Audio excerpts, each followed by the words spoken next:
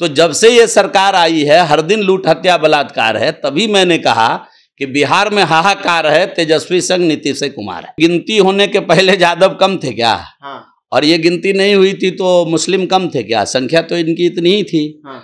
और ये तो सबकी संख्या इतनी थी एक आध परसेंट ऊपर नीचे चलते हुए साल में हुआ होगा। इस संगिनती होने के बाद इस संख्या से हाँ। अब नीतीश कुमार जी को ज़रूर डर लग रहा होगा। हाँ। क्यों डर लग रहा होगा? कि बिहार के सत्ता में अब जो अत्यंत पिछड़ी जाती है उनकी भागीदारी होनी चाहिए। हम्म, उनको आगे ला करके उनको मुख्यमंत्री बनाना चाहिए। बीपीएससी तक का पर्चा लीक हो जाता है। हम्म, सिपाही भर्ती का पर्चा लीक हो जाता है। गरीब के बच, गरीब बच्चे गरीब के बेटे सिपाही बहाली के लिए कर्ज उठाकर अपना पर्चा भरे थे। हम्म, और वो आप लीक करा दे रहे हैं।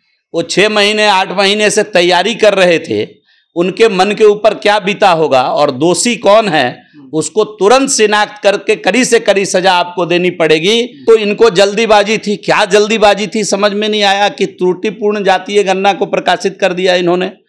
और आर्थिक सर्वेक्षण की कहीं इसमें चर्चा नहीं हुई, जाति की संख्या आप बता दिए। जिन लोगों ने आपत्ति की है कि मेरे घर नहीं आया, हमारी गणना नहीं हुई, हमको पूछा नहीं गया कुछ जाति बिरादरी के लोग ऐसा भी कर रहे हैं जो हमारी कहीं चर्चा ही नहीं है इसके अंदर। तो जिन विषयों को जनता के लिए गणना की गई है तो जनता जनार्दन बिहार की महान जनता जिन विषयों को उठा रही है, जिन त्रुटियों को उठा रही है सरकार को संवेदनशील होकर उन बिंदुओं पर विचार करना चाहिए। देखिए, जातीय जनगणना का रिपोर्ट जब आता है तो कुछ लोग ऐसे होते हैं जो इसका विरोध करते हैं और कहते हैं कि हमारे घर तक तो जो सर्वे टीम थी, जो कास्ट सेंसस करने वाले जो लोग थे, वो तो पहुँचे ही नहीं। ये खबर हुआ। दूसरा खबर ये होता है कि जो भर्ती परीक्षा थी, एक तारीख को कांस्टेबलों की, इक्कीस हज़ार पदों पे वो रद्द कर दी गई, कैंसिल कर दिया गया और जो पाँच और पंद्रह तारीख को परीक्षा होने वाली थी, वो भी कैंसिल कर दिया गया, नहीं, स्थगित कर दिया गया। अब इस चीज़ पे बातचीत करने के लिए हमारे साथ जीवेश मिश्रा जी हैं, जो भाजपा से विधायक है। पहला क्वेश्चन कि ये जातीय जनगणना का लोग बता रहे कि इसमें भी घोटाला हुआ है। देखिए, ये लोगों का, जो लोग इस बात को बता रहे हैं, उनकी चिंता सरकार को करनी चाहिए। जो भी कहीं त्रुटि इसमें हुई है, भारतीय जनता पार्टी जातीय गणना की पक्षधर रही है, और आपको मालूम है कि भारतीय जनता पार्टी की नेतृत्व वाली सरकार ने ही यह निर्णय लिया था कि हम जातीय गणना कराएँगे आर्थिक सर्वेक्षण के साथ जातीय गणना कराएँगे। तो एक तो इनको जल्दीबाजी थी। क्या जल्दीबाजी थी समझ में नहीं आया कि त्रुटिपूर्ण जातीय गणना को प्रकाशित कर दिया इन्होंने। और आर्थिक सर्वेक्षण की कहीं इसमें चर्चा नहीं हुई जाति की संख्या आप बता दिए। नीतीश कुमार कह रहे कि आएगा अब जो क्यों क्यों पीछे से आएगा? जब निर्णय एक साथ लिया गया था जातीय गणना आर्थिक सर्वेक्षण हम एक साथ लाएँगे तो क्यों आगे पीछे आएगा? आखिर आपकी मंशा क्या है? आप एक ही जातीय गणना का एक पक्ष सार्वजनिक कर रहे हैं और दूसरे पक्ष को आप बाद में लाएँगे। आपकी मंशा क्या है? स्पष्ट करनी चाहिए आपको। एक साथ क्यों नहीं दोनों विषय को लाए जब उसकी पूरी तैयारी आपकी सरकार ने कर ली? बिहार के खजाने से उसके लिए पैसा खर्च किया गया। तो एक साथ उसको जनमानस के पटल पर रखने में क्या आपको दिक्कत हो गई? पहली बात। दूसरी बात कि जिन लोगों ने आपत्ति की है कि मेरे घर नहीं आया, हमारी गणना नहीं हुई, हमको पूछा नहीं गया कुछ जाति बिरादरी के लोग ऐसा भी कर रहे हैं जो हमारी कहीं चर्चा ही नहीं है इसके अंदर। तो जिन विषयों को जनता के लिए गणना की गई है तो जनता जनार्दन बिहार की महान जनता जिन विषयों को उठा रही है, जिन त्रुटियों को उठा रही है, सरकार को संवेदनशील होकर उन बिंदुओं पर विचार करना चाहिए। कुछ लोग ये बता रहे हैं कि आप लोग को डर लग रहा है क्योंकि यादवों की जो संख्या है वो चौदह प्रतिशत हो गई है मुस्लिमों की संख्या सत्रह प्रतिशत हो गई है। तब आपको डर लग रहा है एमवाई ये ये ये गिनती होने के पहले यादव कम थे क्या? हाँ। और ये गिनती नहीं हुई थी तो मुस्लिम कम थे क्या? संख्या तो इनकी इतनी ही थी। हाँ। और ये तो सबकी संख्या इतनी थी। एक आध परसेंट ऊपर नीचे चलते हुए साल में हुआ होगा। हाँ। तो संख्या से डर क्यों लगेगा? किसको डर लगेगा और क्यों डर लगेगा? इस संगिनती होने के बाद इस संख्या से हाँ। अब नीतीश कुमार जी को ज़रूर डर लग रहा होगा। हाँ। क्यों डर लग रहा होगा?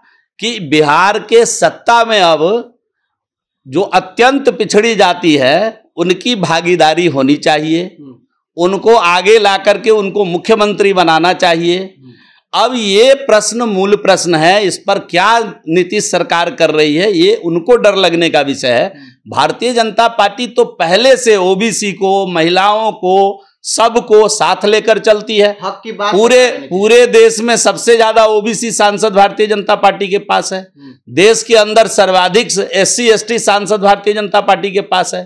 तो भारतीय जनता पार्टी पहले से सबका साथ सबके विकास में विश्वास करने वाली पार्टी है। इसलिए इस गिनती से डर उनको लग रहा है जो अत्यल्प अत्यंत छोटी संख्या में रह करके भी और बड़े हुकूमत को लंबे समय तक संभाला है डर लगना उनको अच्छा, लाजमी पेपर लीक बिहार में ही ऐसा क्यों बार बार हो जाता है? अब ये तो मुख्यमंत्री जी से सवाल होना चाहिए हाँ, कि आप 18 वर्षों से हैं आपके पास कोई बुलेट प्लान नहीं है कोई फुल प्रूफ प्लान नहीं है हम्म, बीपीएससी तक का पर्चा लीक हो जाता है हम्म, सिपाही भर्ती का पर्चा लीक हो जाता है गरीब के बच, गरीब बच्चे गरीब के बेटे सिपाही बहाली के लिए कर्ज उठाकर अपना पर्चा भरे थे हम्म, और वो आप लिख करा दे रहे हैं।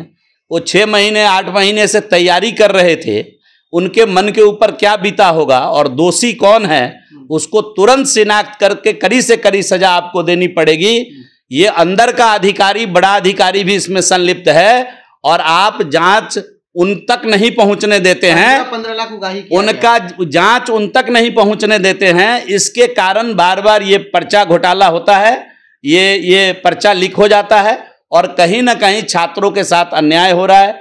पंद्रह पंद्रह लाख उगाही किया इसकी भी जाँच होनी चाहिए। सरकार का काम है दूध का दूध पानी का पानी करे। एक अंतिम प्रश्न अभी आप एक कविता सुना रहे थे कविता के माध्यम से नीतीश कुमार और तेजस्वी जी का लेकिन वो दोनों तो कहते हैं हम लोग का बेस्ट है। हम बहुत बेस्ट दे रहे हैं। अभी इंडोर एक बनाया उन्होंने फ्लाईओवर के नीचे स्मार्ट सिटी के तहत जिसमें badminton court cricket smart city के तहत वो बनाए हैं क्या? हाँ तो ये पटना स्मार्ट सिटी का प्लान किसका है आपको मालूम है नहीं मालूम है? भागलपुर स्मार्ट सिटी का प्लान किसका है मालूम है ना? तो ये लोग ये लोग इनके पास बजट कितना है? इनका पैसा कितना है? हम्म, इनके टोटल बजट का पंद्रह से बीस परसेंट पैसा भी ये नहीं जमा कर पाते हैं बिहार में। सारा पैसा तो भारत सरकार का है। ये किए क्या है? हम्म, आप अखबार उठाकर पढ़ लीजिए। आप आज के अखबार में भी लूट हत्या बलात्कार होगा कहीं ना कहीं। पढ़ लीजिए आप। हम्म। तो जब से ये सरकार आई है हर दिन लूट हत्या बलात्कार है तभी मैंने कहा कि बिहार में हाहाकार है, तेजस्वी संघ नीतीश कुमार है। हाहाकार है और तेजस्वी संघ नीतीश कुमार है। ये जो जीवेश मिश्रा विधायक है, वो कह रहे थे, फ़िलहाल आपकी राय है इस वीडियो पे? कमेंट बॉक्स में ज़रूर बताइएगा। आप देख रहे थे जनता जंक्शन। धन्यवाद।